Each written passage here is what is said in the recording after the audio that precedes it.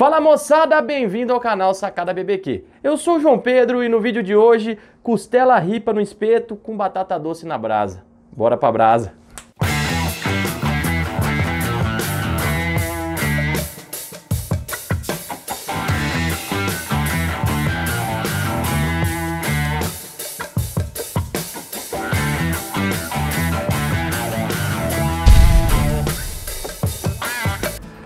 Pessoal, como eu falei para vocês na abertura, costela ripa no espeto com batata doce. A nossa batata doce está aqui no andar de cima, tá? Eu só tirei as, as partinhas feias dela aqui, que tava meio, meio apodrecendo já, meio brotando na verdade, tá até brotando, tanto tempo faz que tá aqui em casa. Fui tirando as pontinhas dela e coloquei ela aqui para ir pegando uma temperatura de leve, sem, sem brasa embaixo, sem nada. E ela vai ficar ali enquanto a gente fala da nossa costela. Bom, temos aqui uma bela peça de costela ripa dos meus amigos lá da Farm Beef. Carne sensacional. Marmoreio incrível dessa carne, tá? Peguei uma costela do dianteiro, uma costela ripa do dianteiro. Por quê? Como eu não vou embrulhar ela em papel alumínio, não vou embrulhar em papel celofane, eu prefiro pegar a costela do dianteiro porque ela é mais mole, então o sabor, e o sabor dela fica sensacional. Quando eu vou fazer assado de tira também, como eu já falei lá no vídeo do assado de tira, eu pego costela do dianteiro. Beleza? Sem mais delongas, vamos temperar essa carne para levar ela para a churrasqueira, para a brasa. Fechou? E o que, que eu faço para temperar essa carne? Coisa simples: sal de parrilha ou sal com pimenta do reino, também de parrilha, sal entrefino e no caso eu vou usar o sal com pimenta do reino aqui. Vou começar não empanando ela, tá? Jogando aqui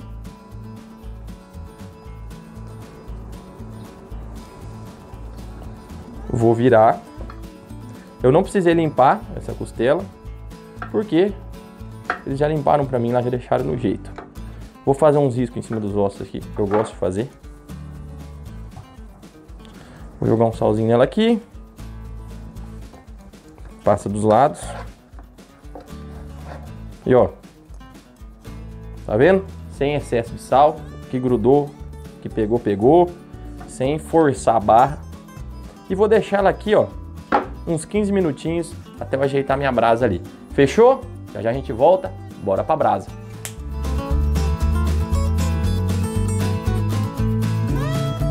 Pessoal, nossa costela já ficou aqui, já fez aquele processo de osmose, já deu aquela suadinha top, já puxou o sal.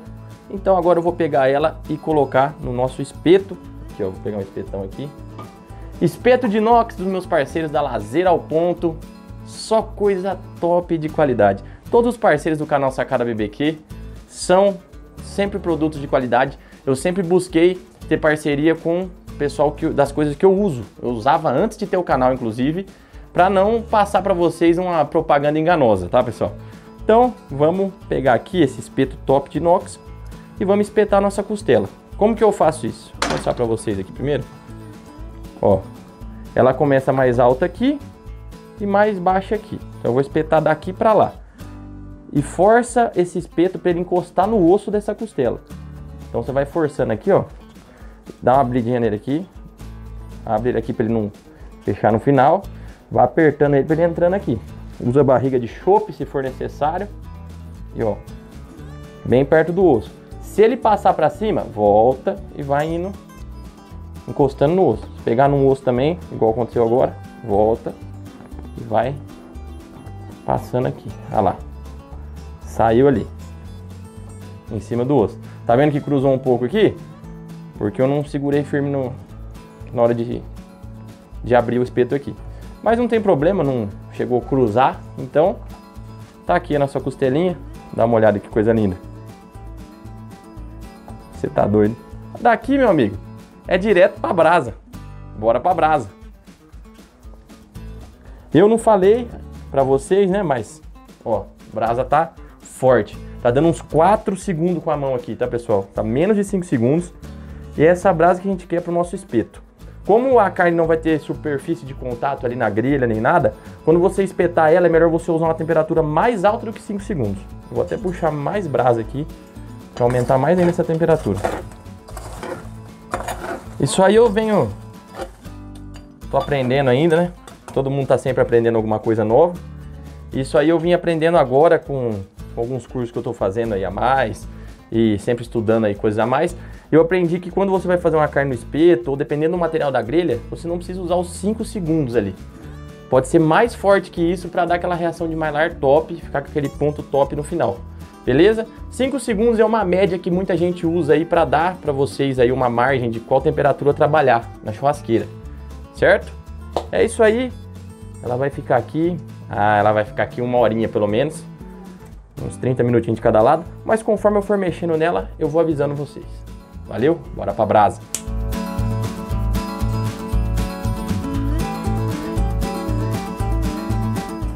Bom, pessoal, agora chegou a hora a gente mexer com a nossa batata doce aqui para levar ela para brasa também.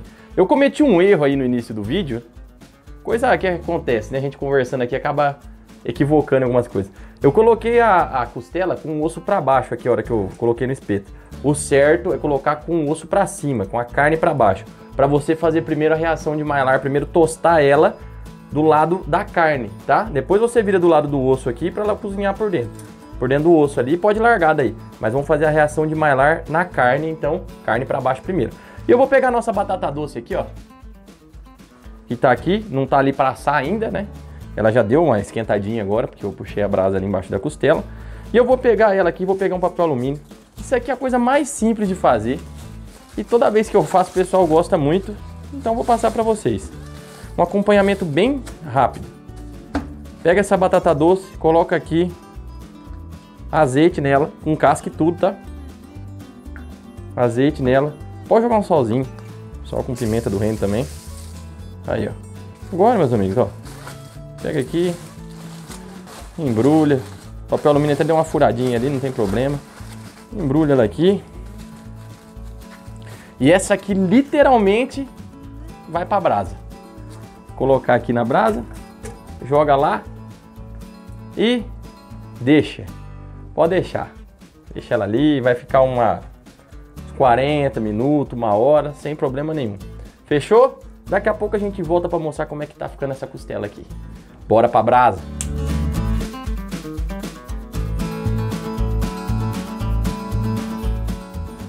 Bom, meus amigos, chegou a parte mais esperada deste vídeo. A hora que a gente vai tirar a nossa carne, a nossa batata doce para comer.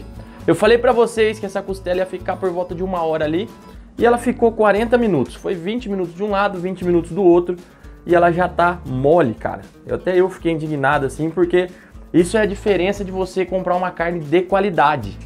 Ela amolece muito mais rápido e é a diferença também da costela do traseiro pro dianteiro ficou, olha, já tá a coisa mais linda ali. Mas eu vou tirar nossa batata doce primeiro, que ela já tá também no jeito.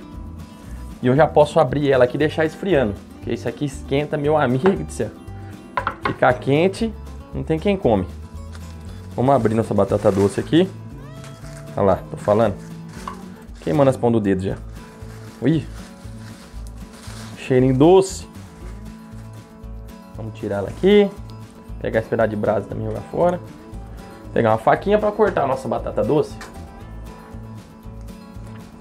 Estamos aqui, ó. Ó. Molinha, porém não derretendo. A gente não quer também essa batata doce derretendo, né?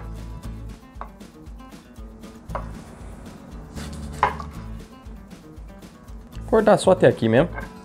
Ajeitar aqui, ó. Deixar ela esfriando. Isso aqui eu acho que eu caprichei, né? cortar no meio aqui.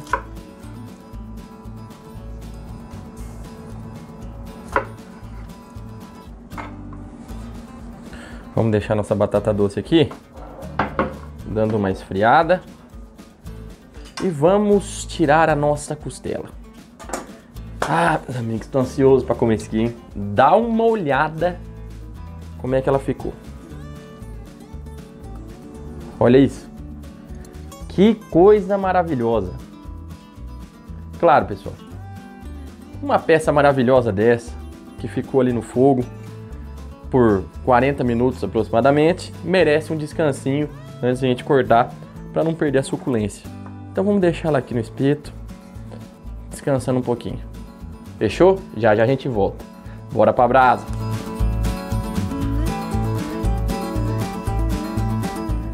Bom, pessoal, deixei nossa carne aqui, nossa costela ripa descansando por aproximadamente uns 3 minutinhos, porque ela é uma carne mais alta, certo? Então ela precisa descansar mais. Agora, o que, que eu vou fazer? Vou tirá-la do espeto. Você pode pegar e casqueirar ela aqui, tirando lasca? Pode também. Eu gosto de tirá-la do espeto. Ah, mas por que, que você fez no espeto, então você vai tirar agora? Porque, pessoal, muita gente me pede para fazer mais cortes no espeto e tudo mais, então uma costela aqui dá para você fazer tanto no espeto quanto na grelha. Se você não quiser fazer no espeto, você pode pôr no alto ali na grelha, não no alto, né, médio ali, na grelha e fazer ela do mesmo jeito que eu fiz. Primeiro, ó, quando eu faço carne no espeto, sempre suja a ponta do espeto aqui com gordura velha que fica lá, carvão lá no fundo da churrasqueira, fuligem. Então, primeira coisa eu limpo aqui.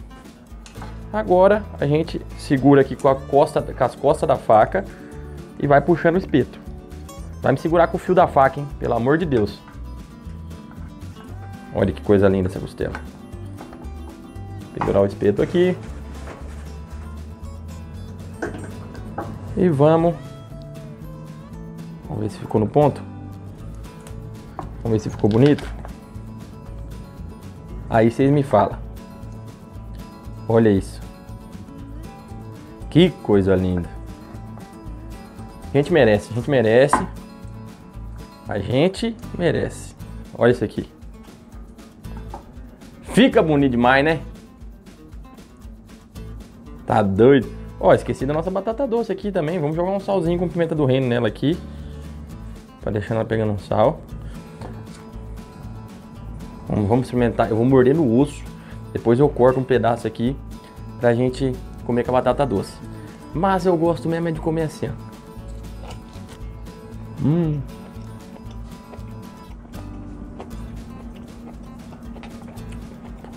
Sensacional. Vou tirar aqui, ó. Cortar um pedaço. A gente comeu a batata doce também.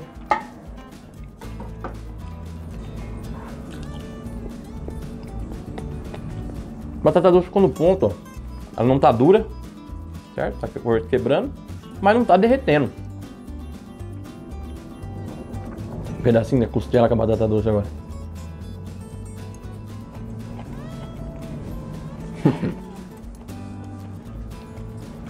Tem erro não, gente. Ó. Que coisa linda. Não esmaguem a carne, tá? Quando for mostrar uma carne, filmar, esmagando a carne, soltando todo o suco dela. Dá uma apertadinha assim, só pra mostrar que tá suculenta. Ó. Cortar mais um ossinho dela aqui já. Sensacional, né, pessoal? Deixar aqui, ajeitado. Terminar de engolir pra gente finalizar. Eu e meu costume de botar pedaços grandes de carne na boca, demora pra engolir. É isso aí, meus amigos. Espero que vocês tenham curtido esse vídeo. Não esquece de se inscrever aqui no canal, compartilhar com os amigos, deixar um like aqui se você gostou, deixa a sugestão nos comentários e me segue lá no Instagram. Fechou? Até a próxima e bora pra brasa!